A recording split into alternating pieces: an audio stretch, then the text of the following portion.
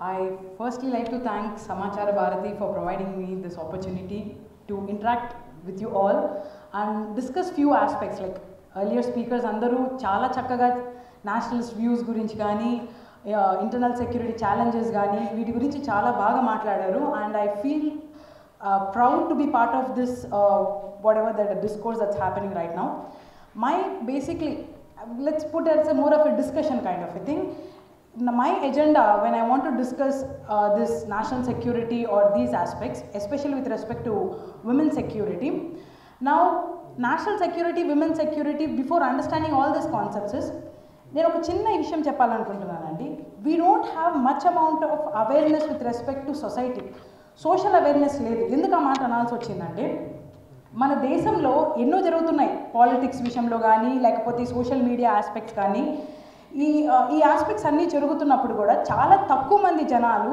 దానివల్ల ప్రభావితం అవుతున్నారు. అంటే నేను ఒక చిన్న ఎగ్జాంపుల్ చెప్తాను ఇక్కడ. అవేర్నెస్ ఎందుకు లేదంటున్నానంటే social awareness in sense basically with respect to law aspect మన ఇండియాలో ఒక ఇప్పుడు జనరల్గా బర్నింగ్ టాపిక్ సిఏ అని తీసుకుంటే ఈ constitution basically citizenship amendment act వచ్చింది. ఎన్నో లెజిస్లేషన్స్ పాస్ అవుతున్నాయి పార్లమెంట్లో ఎన్నో అమెండ్మెంట్లు జరుగుతుంటాయి. కాన్స్టిట్యూషన్లోనే ఎన్నో అమెండ్మెంట్లు జరిగినాయి. ఏవి పట్టించుకోలేదు. ఈ ఒక చిన్న సిటిజన్షిప్ యాక్ట్ యొక్క అమెండ్మెంట్ ఇంత పెద్ద ప్రభావం జనాల్లో తీసుకొచ్చిందంటే అంత ఇంపార్టెంట్ అయిన విషయమా అంటే ఉండొచ్చు కరెక్టే ఇది సిటిజన్షిప్ గురించి మాట్లాడుతుంది కాబట్టి అంత ఇంపార్టెంట్ అయిన విషయమే. కాకపోతే నేను ఒక చిన్న ప్రశ్న అడగాలనుకుంటున్నా. ఈ సిటిజన్షిప్ యాక్ట్ గురించి ఇంత బాగా మాట్లాడుతున్న జనాలకి ఈ అమెండ్మెంట్ యాక్ట్ ఏదైతే చేశారో ఈ అమెండ్మెంట్స్ ఏదైతే చేశారో మొత్తం దేశానికి అప్లై అవుతుందా? అస్సాం ఒక్కొక్కటి అప్లై అవుతుందా? ప్రాక్టికల్ పర్పసెస్గా ప్రాక్టికల్ పర్పసెస్ చూసుకుంటే ఓన్లీ అస్సాం వరకే అప్లై అవుతుంది. రియాలిటీ ఇంప్లిమెంటేషన్ చూసుకుంటే ఓన్లీ ఎన్ఆర్సీ అస్సాం వరకే అప్లై అవుతుంది. అగ్రిడ్ యాక్ట్ మొత్తం దేశానికి అప్లై అవుతుంది. బట్ ప్రాక్టికల్ పర్పసెస్కి ఫారిన్ ట్రైబ్యునల్స్ కానీ ఈ ఎన్ఆర్సీ ఎక్సర్సైజ్ కానీ అస్సాం వరకే అప్లై అవుతుంది. దీనివల్ల అస్సాం స్టూడెంట్స్ అసోసియేషన్స్కి వెస్ట్ బెంగాల్కి వాళ్ళకి చాలా అవేర్నెస్ ఉంది. వాళ్ళ అంటే వాళ్ళ ఇమిగ్రేషన్స్ వల్ల ఇల్లీగల్ మైగ్రెంట్స్ వాళ్ళ దేశంలోకి వస్తున్నారు. But we're very far away from Assam we're very far away from West Bengal మనకు సిఏఏ గురించి తెలుసా? తెలియదు సరిగ్గా. కాన్స్టిట్యూషన్ గురించి ఐడియా సరిగ్గా తెలుసా? లాయర్లో వదిలేసేయండి. యాజ్ అండ్ బేసిక్గా మనకి సివిక్స్లో ఉంటుంది టెన్త్ క్లాస్లో కనీసం టెన్త్ క్లాస్ వరకన్నా చదువుకో ఉంటాము. మన బేసిక్ ఆర్టికల్స్ మన బేసిక్ ప్రియాంబుల్ మనకి గుర్తున్నాయా? ఇప్పుడు దాకా వీ ద పీపుల్ ఆఫ్ సాల్ అని సో ప్రియాంబుల్ స్టార్ట్ చేస్తాము. దీంట్లో ఉన్న ప్రియాంబుల్స్లో ఉన్న ఐడియల్స్ అవన్నీ మనకి గుర్తున్నాయా? ఇవేవి మనకి గుర్తు లేవు అంటే రియాలిటీ చెక్ చేసుకుంటే మన లాస్ మనకి తెలియవు మన కాన్స్టిట్యూషన్ మనకు తెలియదు మనకు రాజ్యాంగం మనకు తెలియదు. ఇవేమి తెలియకుండానే మనం నేషనల్ సెక్యూరిటీ నేషనలిస్ట్ భావాలు right wing ideology left wing ideology అని మాట్లాడతాం. రైట్ వింగ్ లెఫ్ట్ వింగ్ ఇవంతా వదిలేద్దామండి. ఐడియాలజీ ఎవరి ఐడియాలజీ వాళ్ళది? కనీసం దేశంలో బతుకుతున్నప్పుడు ఈ దేశం యొక్క భద్రత గురించి ఆలోచించాలి కదా? ఆ భద్రతని ఆలోచించి ఫస్ట్ ఈ దేశాన్ని రక్షించే కాన్స్టిట్యూషన్ గురించైనా మనం ఆలోచించాలి. సో ఈ కాన్స్టిట్యూషన్ గురించి ఆలోచించి ఈ కాన్స్టిట్యూషన్ని ప్రొటెక్ట్ చేస్తే ఈ నేషనల్ సెక్యూరిటీ అనేది ఒక చిన్న సబ్జెక్ట్ అయిపోతుంది. Because automatically the country will be protected when you start respecting constitution when you start understanding constitution in its real sense the problem is we don't understand it we don't know the nuances of it. We don't even take the effort of understanding it. The same is happening even now especially in our youth also. Social media is a very it's a double edged sword అండి. ఒక ఒక- ఒకవైపు మీరు ఎంత మంచిగా use చేయొచ్చో ఇంకోవైపు అంత చెడుగానికి యూజ్ చేయొచ్చు. టిక్టాక్ ఎంత ఫేమస్ మనకు బేసికల్గా ట్విట్టర్ కూడా ఆ టిక్టాక్ వీడియోస్ ఎంత ఫేమస్ అయిపోతాయండి. చిన్న డమ్ డబ్ స్మాష్లు చేస్తారు ఇమిటేషన్లు చేస్తారు. ఇవన్నీ చేసిన వీడియోస్ ఎంత పాపులర్ అయిపోతాయి? ఒక ఇన్ఫర్మేటివ్ వీడియోస్ ఉన్నవి అసలు పాపులర్ అవ్వవు. సిఏఏ గురించి చాలామంది చాలా వ్యక్తులు చాలా మాట్లాడుంటారు. దేశంలో ఎవరికి తెలియదు ఆర్టికల్ త్రీ సెవెంటీ గురించి మాట్లాడుంటారు తెలియదు అదేవిధంగా ఉమెన్ సెక్యూరిటీ గురించి కూడా ఎంతోమంది ఎన్నో మాటలు మాట్లాడున్నారు కాబట్టి కానీ మనని ఒక విమెన్ని హరాస్ చేస్తే ఏ లాస్ వచ్చి మనం ప్రొటెక్ట్ చేస్తాయని విమెన్కే తెలియదు విమెన్కి తెలియదు అబ్బాయిలకి తెలియదు ఎవరికి తెలియదు నేను చాలామంది అడుగుతున్నా లాయర్స్ చేసిన లాయర్లకే తెలియదు ఒక నిన్ను సైబర్ బుల్లింగ్ చేస్తారు. నిన్ను వచ్చి తిడతారు ఆన్లైన్ కమెంట్లు బేసికలీ సైబర్ బుల్లింగ్ స్టాకింగ్ చేస్తారు.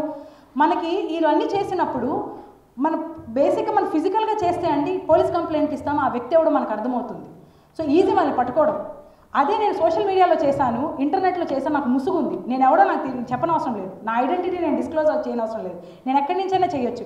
నేను నన్ను పట్టుకోవడం కష్టం అన్నప్పుడే నేను ఎక్కువ క్రైమ్ చేస్తాను సోషల్ మీడియా కూడా అలాగే యూజ్ అవుతుంది especially against women. Seventy five percent to ninety percent of cyber bullying జరిగినా ఏదైనా సైబర్ క్రైమ్ జరిగినా ఫ్రాడ్యులెంట్ ఎకనామిక్ క్రైమ్స్ ఒక ఎత్తు అయితే అగేన్స్ట్ విమెన్ ఒక ఎత్తు.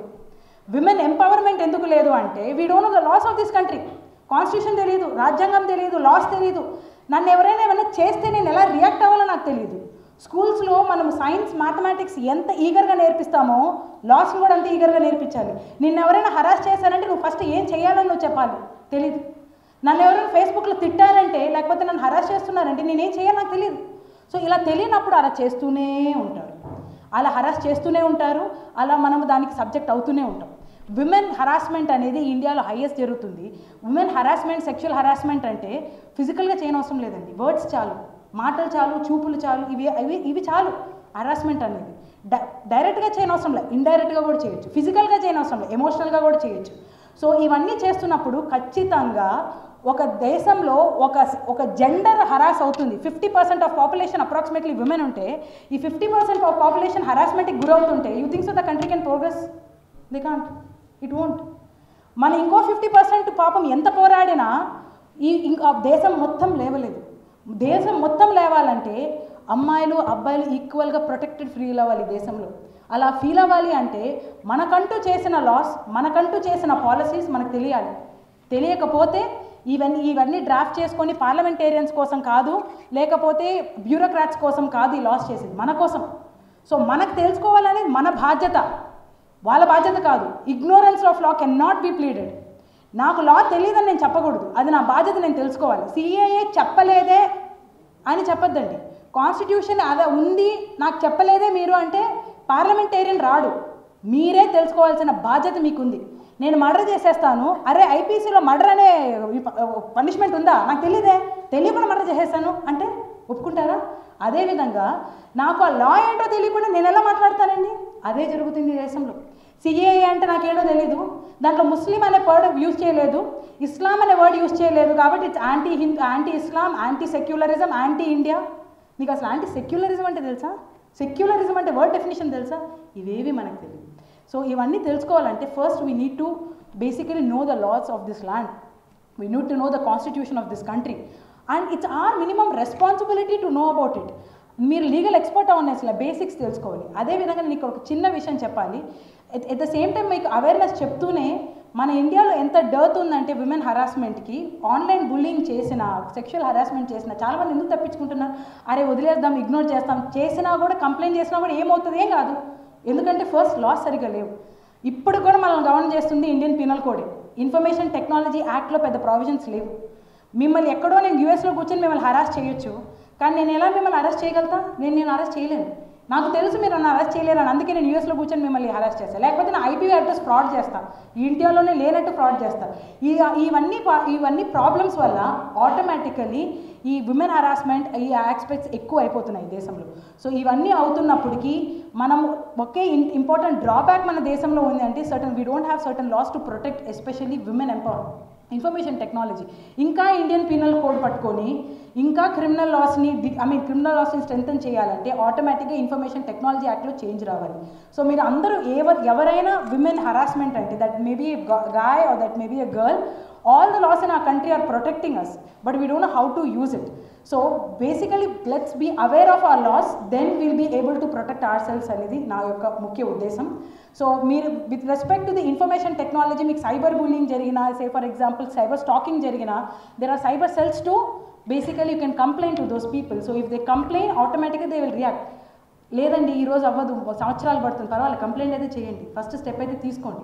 సంవత్సరాలు పడుతుందో నెలలు పడుతుందో let them decide but at least you need to take an initiative don't we need not be a judge in our own case just first will file then will take up this action thank you